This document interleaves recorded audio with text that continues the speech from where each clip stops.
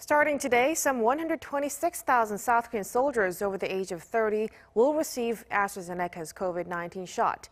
This is two months ahead of schedule, and the Defense Ministry plans to complete the first dose by the first week of May.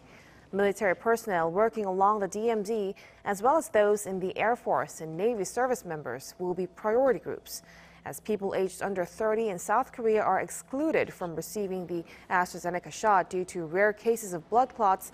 A vaccination plan for younger soldiers has not been drawn up yet. In the meantime, Pfizer vaccine doses for 125,000 people has just arrived in the country.